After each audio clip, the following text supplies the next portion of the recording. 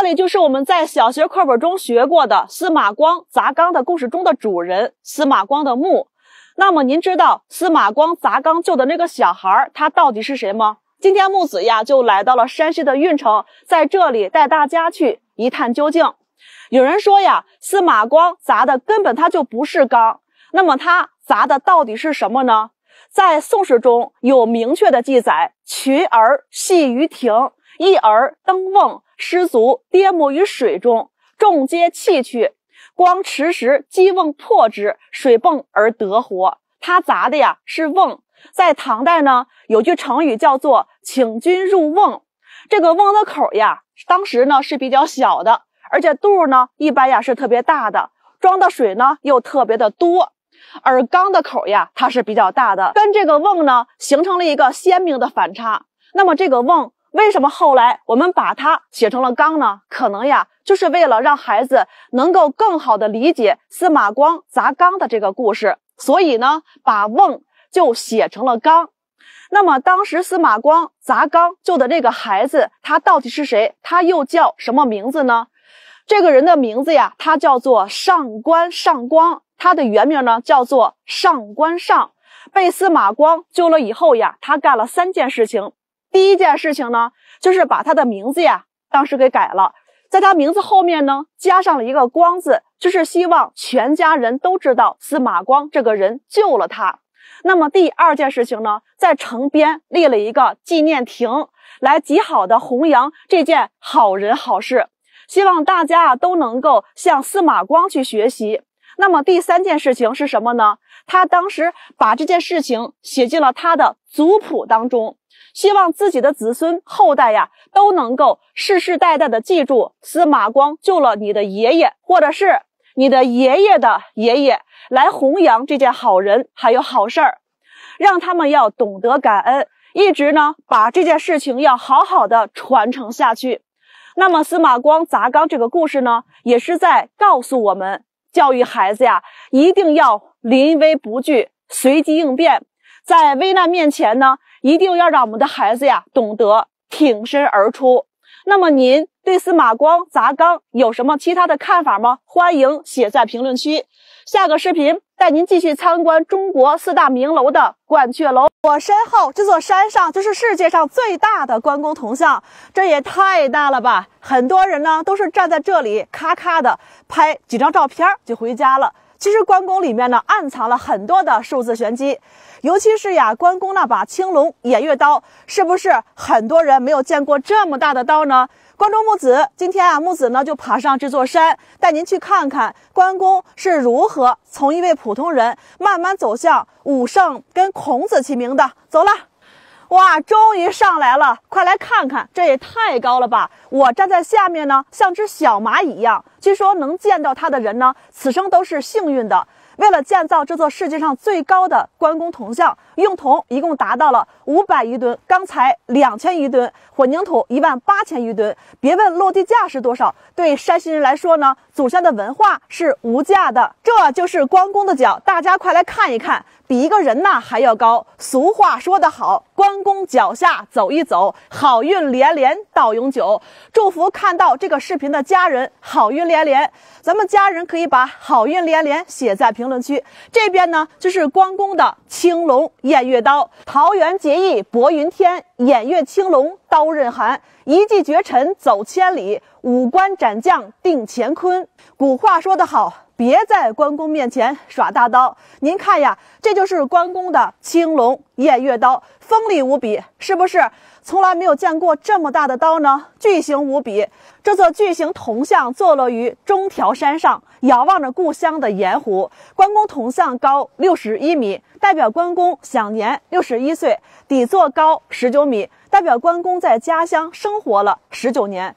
关公啊，叫关羽，字云长，出生于公元的一六零年，是山西省运城人。相传在年轻的时候呢，关公特别的喜欢打抱不平，失手杀死村里的恶霸吕雄，而远走他乡。后来遇到了刘备、张飞之后呢，三人呀桃园结义，并且发誓呢要辅佐刘备匡扶汉室。随后便追随刘备灭董卓，破袁绍。战吕布，退曹操，屡建战功，实现了魏、蜀、吴三足鼎立的局面。人生呀，从未败笔，也被人们称之为常胜将军。后来因为呀大意失荆州而败走麦城，悲壮去世。古话说忠义不能两全，而关羽却做到了。他的忠义被后世流传千古，被历代帝王追封。清代时被封为了武圣，与文圣孔子齐名。如今关公已经是名誉全球，全球各地呀，只要是有华的地方呢，就有关公的故事一直在流传。我们呀，不仅呢从关公身上要学习为人处事的原则和品格，还要像他一样呢，忠于国家，忠于人民，做事呢要有勇有谋，有保卫国家的精神。为关二爷点个赞吧！关注木子，下个视频带您去看历史上的青龙偃月刀。这里就是所有男人做梦都想拥有的山西王家大院，它比故宫呀还要大将近两倍，是目前世界上最大的古代宅院。房间呢就有一千多间，每天呀住一间，三年在这里你都住不完。关注木子呢，带您走进被誉为山西的紫禁城。据说他家呀有很多很多的宝贝，让世界呢都为之震撼。跟随木子一起走进山西的王家大院儿，走吧，看看这里呢就是王家的一个院墙。这呀哪里是院墙，它简直呀就是城墙了。然后在这里呢，大家看一下啊，这就是王家的一个大门了。要我说呀，它就是一座城门。估计高度呢得将近十米左右，而且呀还是双层的保护，外面一层，里面呢还有一层。然后这个呀就是他们家的一个门铃，在当时这个门铃呢不能随便乱敲，要这样敲一下，然后再敲两下。如果一直敲的话呢，那就是报丧的。这条道呢就是他们王家的一个跑马道，这也太长了吧！在中国所有古代的大宅院当中呢。这么长的跑马道呀，我呢还是头一次见。王家的创立者呀，叫做王石，以前呢是卖豆腐发家的。这就是王石后人住的地方。你看他们家的门槛呀是非常高的，不愧是呢有钱人家。我告诉你呀，迈过去的是门，迈不过去呢，那就叫坎儿了。跨过这个大门槛之后呢，咱们呀抬头看一下。在这个院子里面，首先呢要了解一下这块匾额，叫“归园举坊”。您看到了吗？那个“举”字呀多了一点，意思呢是在告诉后人，规矩多一点，麻烦就会少一点。在这个正方形的院子当中呀，它摆了一个圆形的水缸，是在告诉我们要方方正正做人，规规矩矩办事，没有一丝的圆滑，是呀，做人的一种本分。是为人处事的规范。那么在过去的时候呢，这个缸里面啊，它要装满了水，因为呢，水是主财的。这里呀，几乎呢都是木质建筑，所以它呢还有一个灭火的功能，同时呢也被称之为门海。在山西呀，家里面呢很多都会放上一口缸，缸越多，那么家里的钱呢也就越多。这屋子就是曾经主人呀生活的地方。悄悄地告诉你呢，里面还有一幅非常昂贵的字画，这就是刘罗锅刘墉大人亲笔所书写的字，都在这里面。请看，这就是刘墉的原创手稿。在这边上呀，还有一幅呢大清的万年一统天下图。你知道吗？在清朝统治时期，这个领土面积啊是相当大的。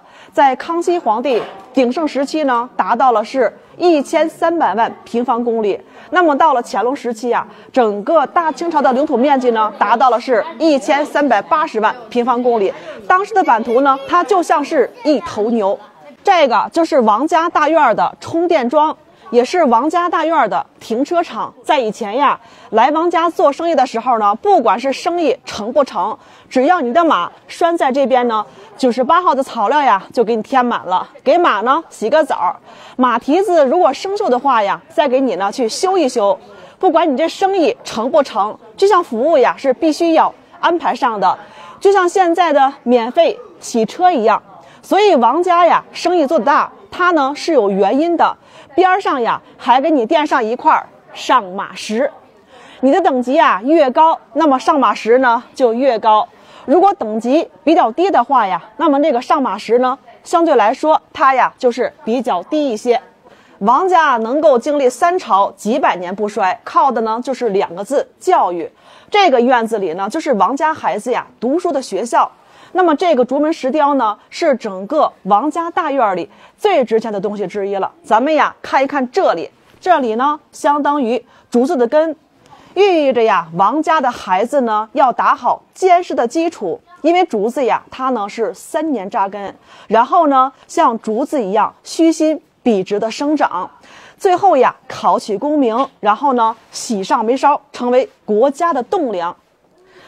咱们呀再走过这个门呢，就是王家孩子读书的地方了。以前呀，大户人家的孩子呢是不需要出去读书的，他们会把这个读书的先生直接呢请到私塾里面来，在家里呀直接上学。咱们抬头看一下身后这两个字啊，叫做养正，天地正气，涵养正道。在王家私塾当中呢，还有一样东西啊，更加的引人注目。这里呀有两只呢猴子盘旋在一起，代表着是贝贝封侯的意思。这个小猴子呀，用手呢捂住了耳朵，是要告诉你，他们家的孩子呢，两耳不闻窗外事。一心只读圣贤书，所以教育呀，才是让一个大家庭能够兴盛致富的唯一秘诀。这边呢是王家大院的南门，一般呀它是不轻易打开的，除非圣旨来了呢，这个南门呀才会打开。所以木子来的时候呀，他就不是从这个门进来的，因为我呢没有那个级别，在这个边上呀，它呢有一对石像，这个石像你注意到没有？很多银行的门呀也会摆放石像，那么这个鼻子呢，它是往里面勾的，告诉你钱呀要往银行里面存。但是王家的石像呢，它恰恰相反，鼻子呀它是朝上的，代表什么呢？鼻子朝向也叫做吸财相，吸的呢就是天上的财。再看看他们家的狮子，在这边呀，王家大院呢还有一对狮子。木子看过很多的狮子雕刻，从来没有看到过狮子腿呀往后蹬。这个俯冲向下的狮子是镇宅的，这个代表着是扑食，能够呢扑灭灾难，扑灭不好的东西。所以这个狮子呀，它是往下的一个状态。这个王家大院呀，它也实在是太大了，里面呢有很多很多宝贝。那么一个视频，咱今天也拍不完。关注木子，下个视频继续带您探寻王家大院。